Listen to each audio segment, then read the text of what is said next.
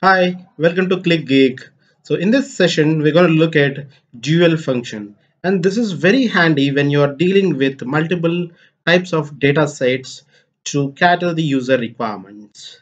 So just in case, in some kind of scenarios, like where your bar chart will be plotting bars based on the values, but whenever user is hovering on it, so there might be a different value or different text that will be showcasing apart from the bars. This scenario it is very useful.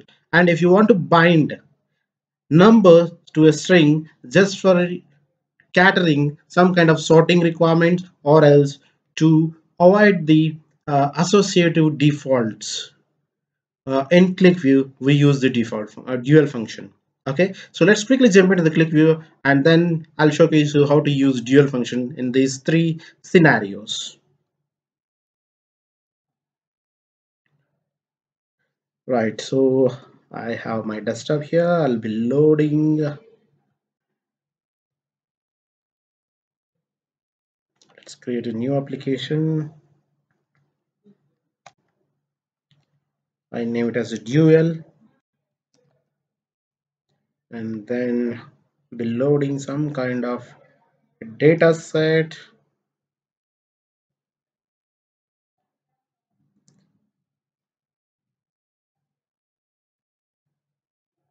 Just reload it. Okay so we have the data. So I'll be in country city as the list box okay and then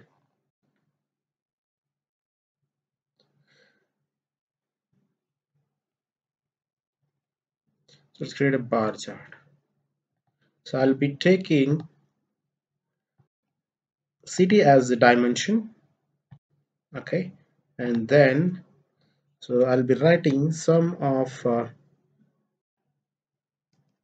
units sold as my expression. Then let's finish it off. Now you could see multiple things.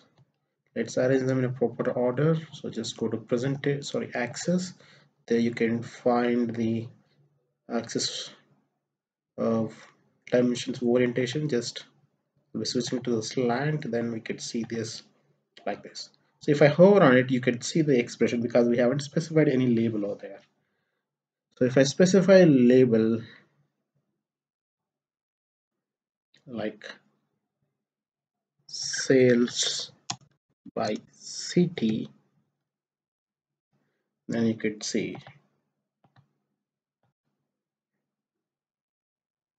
so now my intention is I don't want to show the sales by city equals to 445 but I want to show to which city this I mean to which country this city is belongs to. So for that what I'm going to do is so I'll make this as a country. So just to then apply. Let's see what will happen. So it will be and then I'll plotting values on the data points so that you could see the numbers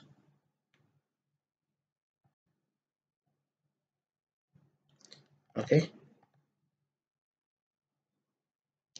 And uh, so now I'll use the dual function. So dual of if you see there are two parameters in dual one the first parameter is I mean, uh, treated as text. So now I want to place the dimension in country here. Okay. At the end I'll be closing the bracket because we have the, the string I mean number parameter as sum of say uh, sum of units sold then apply.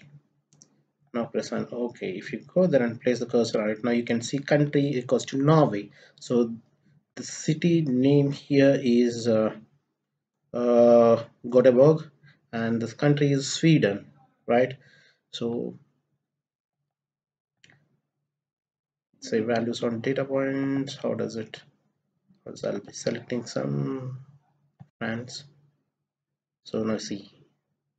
If you want something to be customized properly there you can specify the same thing here. So take this country and I'll put some kind of text out there. And then I'll be adding this plus apply. Let's see the magic. Right so this is how you can customize your values on data points and the hovering as well with the dual function. So if I place a cursor over here you can see. So the country is France and the sales value is 316 okay? So this is how dual function is used in the front end uh, for, for for displaying the customized uh, pop-up labels in uh, bar chart or any kind of charts. Okay? So let's see how this dual function will work in the back end. This is this is a one scenario. So now I'll be creating a new sheet. Then let's go to backend now I'm removing this. Okay?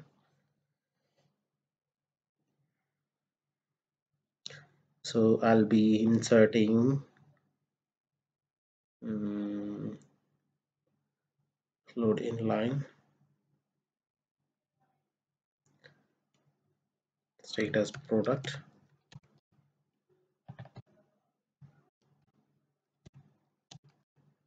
Product.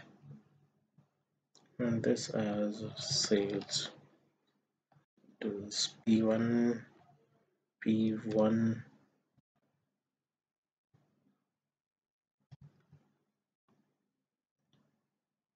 p2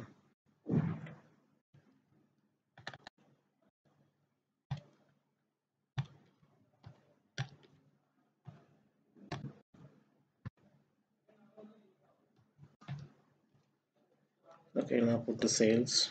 Two three eight six four one. And let's apply. Okay let's reload it now if we take the product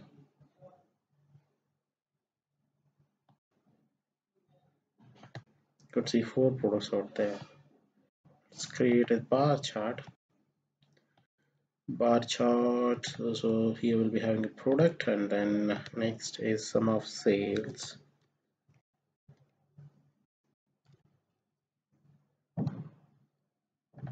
Finish. Okay. Now go to the dimensions? Sorry. The general is converted into this one. Now you could able to see I don't want totals there. So we'll go to the expression and disable the totals. Only now you could see one two three four right? So now let's go to the back end. Okay. And then so I named this table as uh, raw underscore data. Okay. Now I create another table. So I name it as t2 okay. And then what I'll be doing is load star. So uh, resident of raw data. So entire data set will be coming here then I'll drop the table. That is raw data. Okay. And then here I add one more column to it. That is product.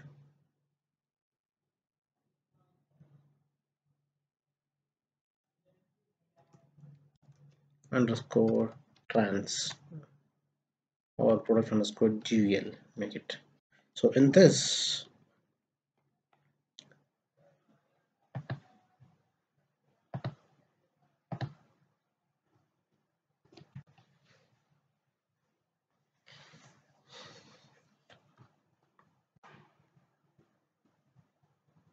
yeah we'll be assigning product uh, for the product dual column. We'll be doing a dual of product and then sales means what's happening is in the text column it is taking product as the value uh, as the text and in the uh, and the sales number as a number in this. If you reload it what will happen is just see the magic. And now each and every row is treated as separate. Now it is not doing aggregation by the dimension because the dimensions ha dimension has dual and embedded the different value in it. So how to see that? So if let's take a text object here uh, which has product underscore dual. Okay now if I click on one p1 now you could see p1 here. Okay if I click on another p1 so you can see p1 here.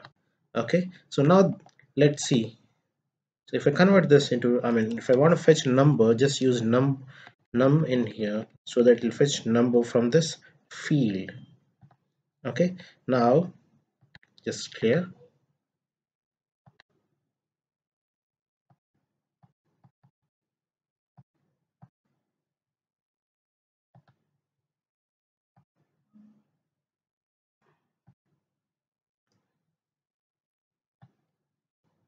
Mm, and click on p1 now you can see p1 has a 3 in its uh, numeric part.